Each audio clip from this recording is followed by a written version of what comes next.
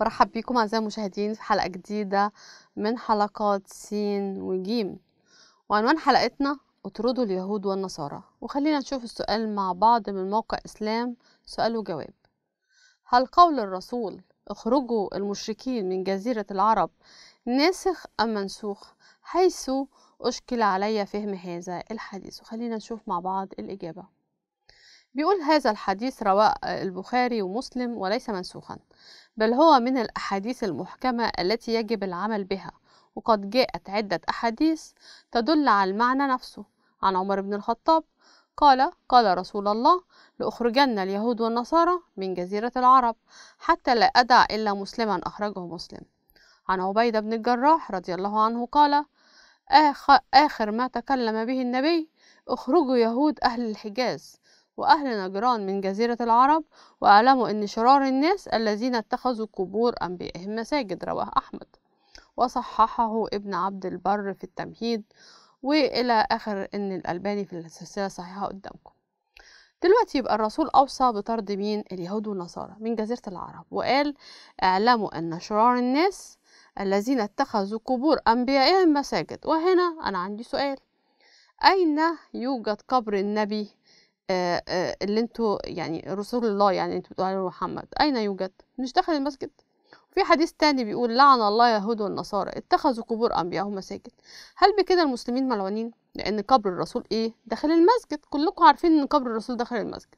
ثانيا ليه بيكذب على اليهود والنصارى؟ هل اليهود عملوا من قبر موسى أو داوود أو أي نبي عندهم مسجد؟ ادونا أي مسجد فيه قبر نبي. ونكمل الإجابة ونشوف.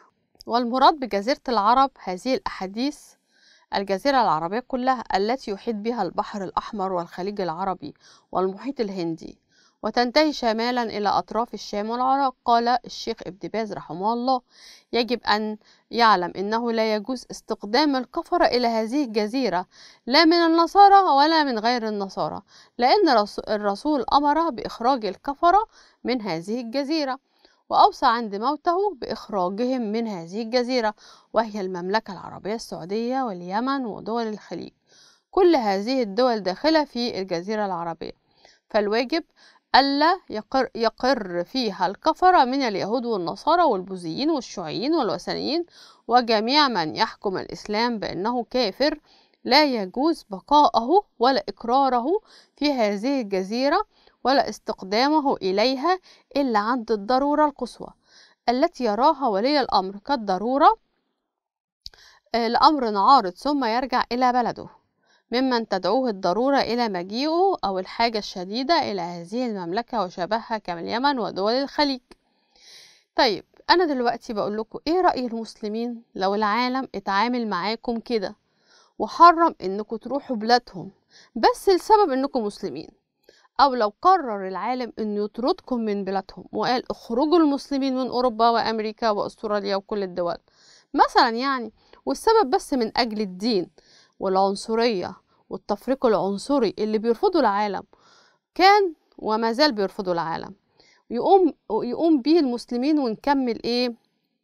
نكمل الإجابة ونشوف.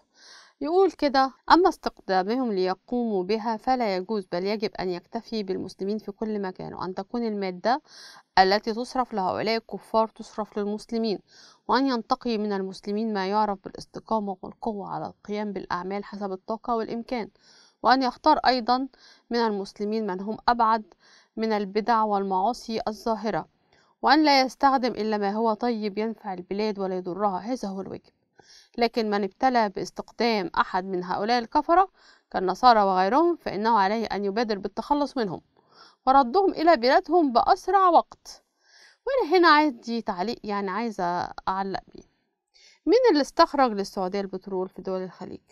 مين مين اللي استخرج لكم البترول يعني كسعودية ودول الخليج أصلا؟ مين اللي اللي أنتوا بتقولوا عليهم لازم تخرجوهم بسرعة؟ اللي بتقولوا عليهم كفرة اللي مدوا اللي بنوا المدن ناطحات السماء التعليم كل الخير اللي عملوه في بلادكم اللي أنتوا بتقولوا عليهم كفر بتقول لازم نطردهم. لولا غير المسلمين كانت الدول دي لسه عايشة في الخيام. وخلينا نكمل لما سألوا ابن باز قال لهم إيه؟ سئل الشيخ ابن باز رحمه الله يقول الرسول لا يجتمع في جزيرة العرب دينان. لكننا نجد في معظم البلدان الجزيرة العربية وجودا كثيفا للعمالة غير الإسلامية وصل بها الأمر إلى حد بناء دور عبادة لها سواء النصارى أم الهندوس أم السيخ. ما الموقف الواجب على حكومات هذه البلدان؟ اتخاذه حيال هذه الظاهرة المؤلمة ذات الخطر الداهم. خلينا نشوف الإجابة بيقول إيه. لقد صح أن الرسول الرسول قال لا يجتمع في الجزيرة دينان وصح عنه أيضا أنه أمر بإخراج اليهود والنصارى من الجزيرة وأمر أن لا يبقى فيها إلا مسلم وأوصى عند موته بإخراج المشركين من الجزيرة. فهذا أمر ثابت عن الرسول وليس فيه شك. وهنا أنا عندي سؤال. اليهود دول مش أحفاد إبراهيم؟ وإسلاميا بتقول إبراهيم هو اللي بنى الكعبة؟ يعني أرضهم ليه يطردهم محمد؟ ليه محمد خايف اختلاط المسلمين مع أهل الكتاب؟ هل كان خايف ينكشف أمره أن النبي كذاب؟ خلينا نكمل الإجابة.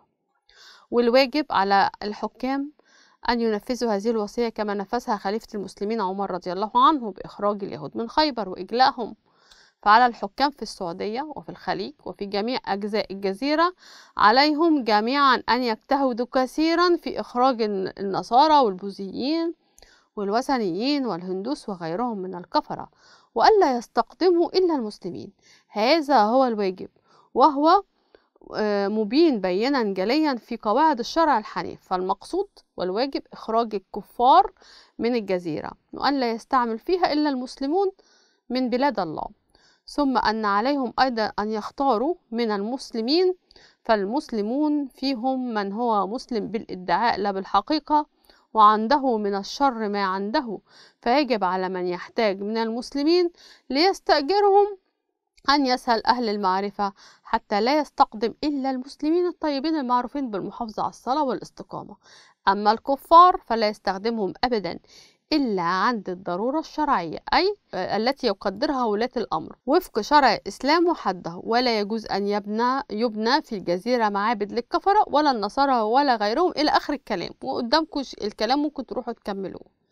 يعني محدش يقول إن الإسلام دين سلام ولا إن الرسول أوصانا بأهل الكتاب. وكل الإشاعات اللي أنت قاعد فيها مسلم. محمد كان عنصري وبيكره وجود اليهود والنصارى وأمر بطردهم. وعندي سؤال لما القرآن قال لمحمد إن كنت في شك مما أنزلنا إليك اسأل الذين يقرؤون الكتاب من قبلك اسألهم إزاي؟ وهو عايز يطردهم. وهم وهم أصلا ما يكون يعني هيسالهم إزاي هم ملهمش وجود معاه. فطبعا ده سؤال. على السؤال وألتقي بيكم في الحلقة القادمة من سين وجيم وإلى اللقاء.